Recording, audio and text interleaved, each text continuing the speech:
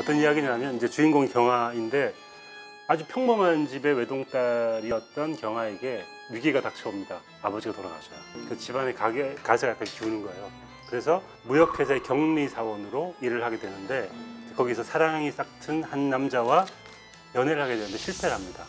그 두 번째 연애가 한번 결혼한 적이 있었던 남자와 사랑에 빠지는데 또 실패하는 거야. 아이고. 그 다음에 이 경아가 호스티스 로 전락을 하게 되는 이야기예요.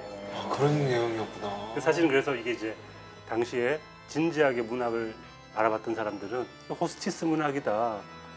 되게- 저급한 이야기다라고 음. 얘기를 했지만 또 다른 사람들은 그렇지 않다. 당시 시대상을 이렇게 적확하게 묘사한 작품이 없었다 라고 이제 약간 싸움이 나기도 했던 그때 당시에 문학에서도 호스티스가 등장하면 그렇게 평을 하기도 했군요. 그렇죠.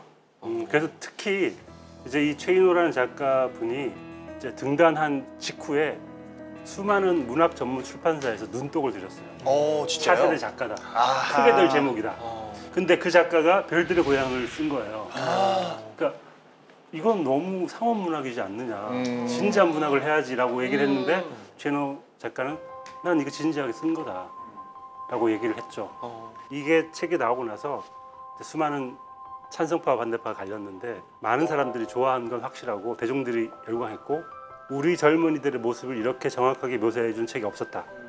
그리고 경화가 얼마나 크게 히트했냐면 수많은 여- 여자들이 이 경화 이야기에 눈물을 흘리고 남자들은 실제로 술집에서 건배를 할 때 경화를 놓쳤다고. 오.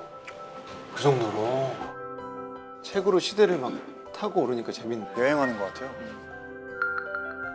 그리고 이 소설의 시작이 이제 뭐 상업 소설이라고 하면 되게 박진감 넘치게 주인공의 앞날을 따라가게 만드는 그런 스토리를 쓸 법도 한데 소설의 시작이 경화의 죽음이에요.